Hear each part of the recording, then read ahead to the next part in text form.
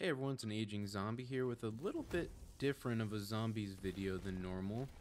Today I want to rant about something that's really been irking me lately, and that is the random drop for new schematics in the Dark Aethers.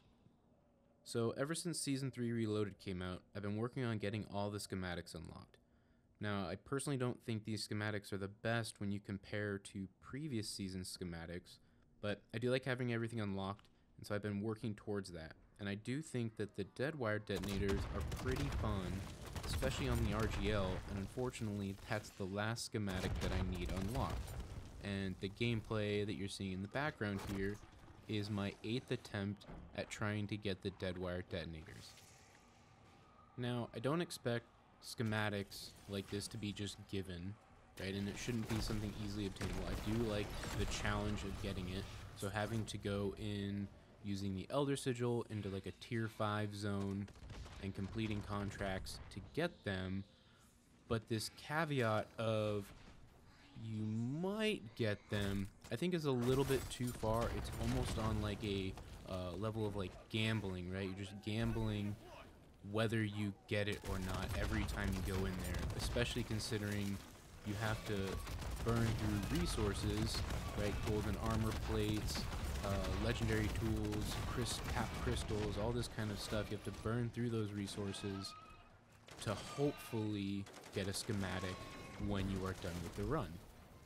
They have added in a more guaranteed way of getting a legendary tool and a uh, flawless crystal out with the addition of these, you know, triangles in tier three, um, where you where you complete that kind of like little ritual thing, kill zombies in the circle, uh, but even that is somewhat of a gamble because, at least to my knowledge, uh, only the first three teams that make it to each to one of those uh, gets that reward, and after that, it's shut down for everyone in that match. And so it just creates this mad rush at the beginning of every match of people just booking it to tier three, and it's just up to chance if you spawn near a vehicle or you have someone in your squad or if you're solo uh, with a Scorcher and you're able to kind of, you know, jump over into tier 3 quickly. Now as far as the other items go, so like uh, like classified items and um, the wonder weapons, I think that's fairly subjective as far as like what you need to complete the Dark Aethers. Uh, personally for me, I really just need like one other thing so like golden armor plates or mags of holding or uh, actually the dead wire detonators. Um, those I think are pretty helpful uh, to complete the Dark Aethers, any of them really, um, but especially this one because the hordes of zombies in this new Dark Aether is just massive. Um, the other thing for this Dark Aether, this Season 3 Reloaded, is the VR11. Um, I think I've only completed the Escort ACV contract one time without the VR11. Every other time, I fail that contract unless I have the VR11 to heal it up, regardless of how many of the fully grenades I have. Uh, if I have one or two sentry guns on the thing, for some reason, I just fail at it.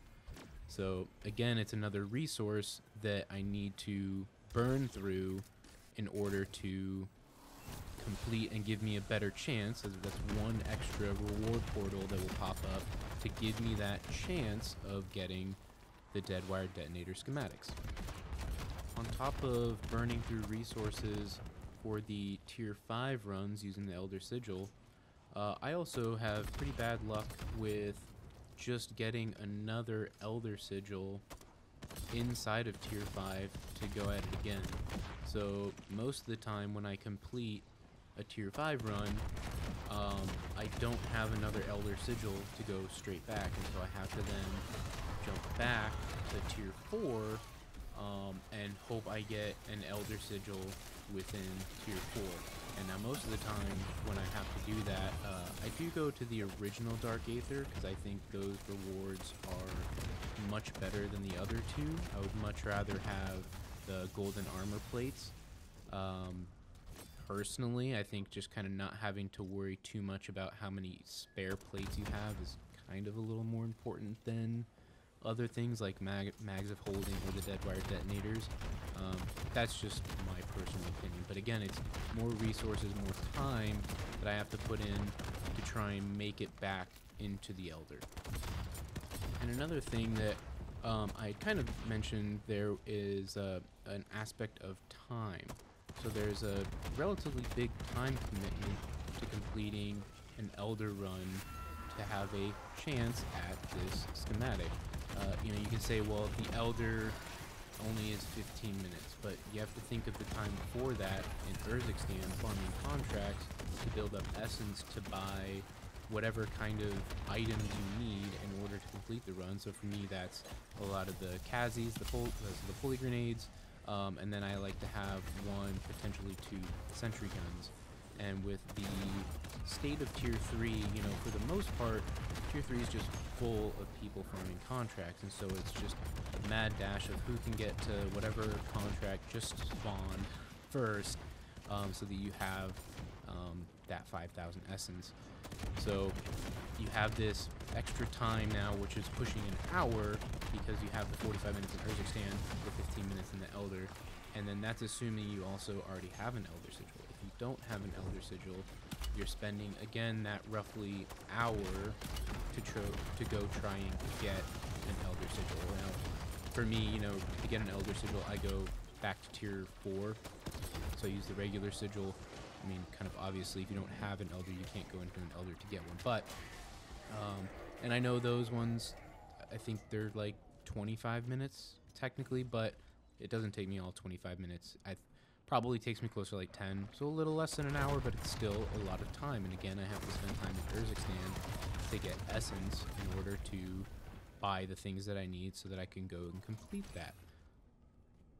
So now you're pushing, you know, potentially upwards of two hours for again this chance, this gamble, this random occurrence that you get the schematic that you're looking for. And now, like I said before, I don't expect things to be handed to me, and I want a challenge.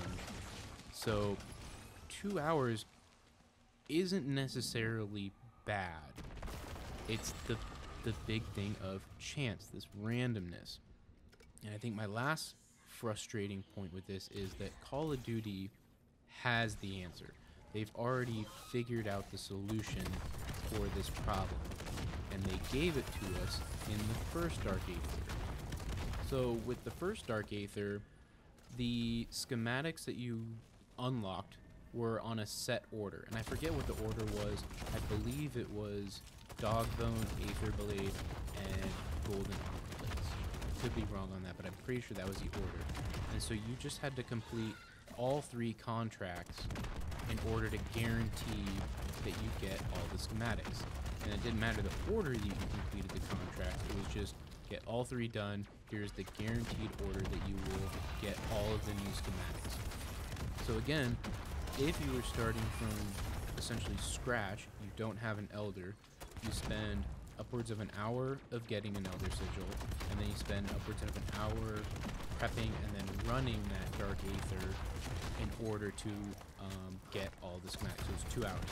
So the time commitment itself isn't the problem, it's the time commitment and plus this random chance of it happening. This now puts all the power in the player's hand, because now if I spend all this time and resources and maybe just don't prepare enough. I don't bring enough self revives. I go down too many times, or I don't play a, uh, I don't do like kind of the right movement or something on a contract, like especially those escort ACVs. Uh, I tend to fail those a lot, even in the old Dark Aether, the original.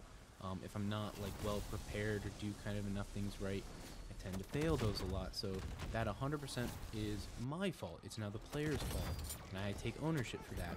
Instead of the game kind of arbitrarily through these loot pools going, hey, congratulations, you actually get nothing. And look, I get it. I get why they kind of went with this route.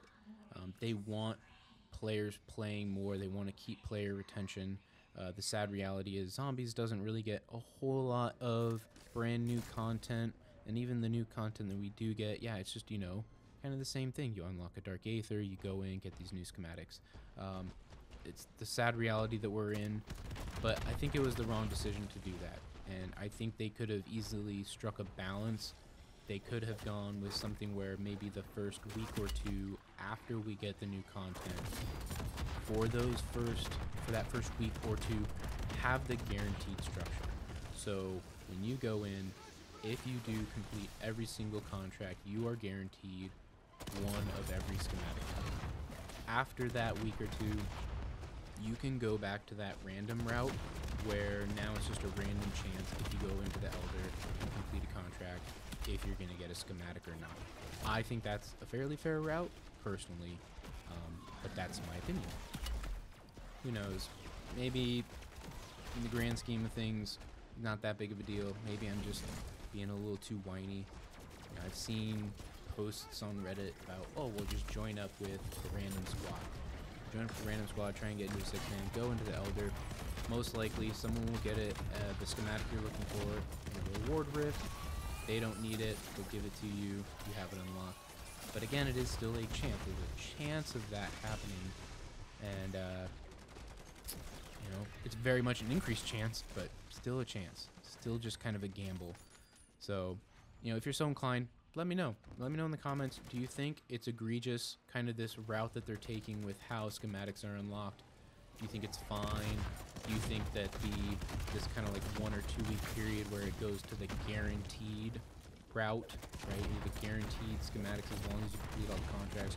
You think that's a fair kind of compromise, essentially, uh, for unlocking all the new schematics? Realistically, though, in the grand scheme of things, probably won't matter because we do have the hype cycle starting for the next Call of Duty game. So Black Ops 6, the promotional material has started coming out for that game, and I know Zombies is like Treyarch's baby, so I'm sure they're cooking up something really great for everyone. Uh, but until then, you know, I do like this game. I do like Modern Warfare Zombies. I will continue to play it. Um, I'll continue to grind to try and get these dead wire detonators, and you know, we've got what three more seasons, four, five, six, uh, of content. I will of course be playing it. I'll be making videos for you all. So until the next video, I hope everyone enjoyed this. Peace.